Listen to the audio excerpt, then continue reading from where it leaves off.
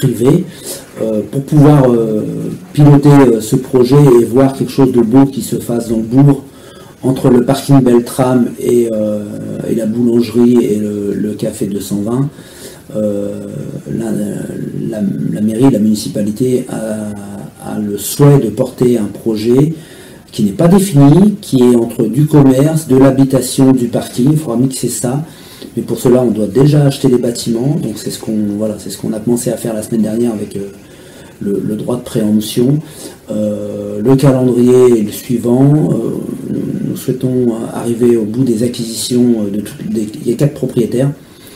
courant 2024, courant 2023 pardon, pour pouvoir voilà, commencer. Est-ce que c'est la réhabilitation? Est-ce qu'on tombe complètement les bâtiments reconstruits? Est-ce qu'on tombe, est-ce qu'on fait un parking Voilà, rien n'est arrêté à ce jour.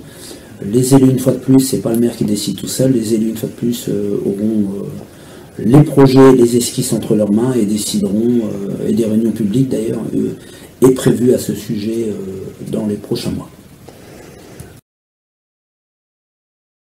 Le nouveau site www.comquier.fr et non plus comquier.com, comquier.com dans quelques mois, euh, j'ai même envie de vous dire dans quelques semaines, n'existera plus. Donc il y a un nouveau site qui est en train de se finir euh, à l'heure où je vous parle et donc euh, qui sera beaucoup plus moderne, on aura beaucoup plus d'informations, tout ce qui est réglementaire, hein, les décisions municipales, les arrêtés municipaux, les permis de construire, voilà, tout sera en ligne, ainsi que tous les services à la population avec les liens vers les vers les, partenaires institutionnels, euh, un, beau nouveau site euh, qui est euh, fait avec l'accompagnement de la Maison des communes, qui est spécialisé, qui est un service spécialisé à la, conception des sites internet pour les collectivités.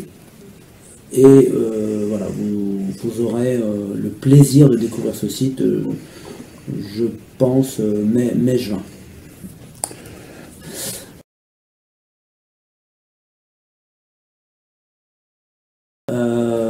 effectivement, les, bancs sont stockés euh, actuellement euh, dans nos locaux, vont être posés euh, à divers points de la commune entre les quartiers et puis le centre-bourg. Il y en a quelques-uns prévus aussi dans le centre-bourg.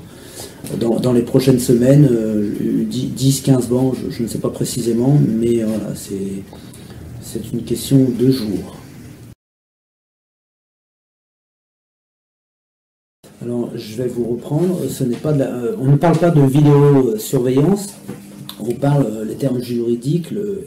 on parle de vidéoprotection. Il s'agit euh, de, réfléchir sur la nécessité ou pas de protéger nos bâtiments municipaux. je pense aux services techniques, je pense à l'église, au WC public, à la salle de sport, au complexe sportif, voilà, la mairie bien sûr.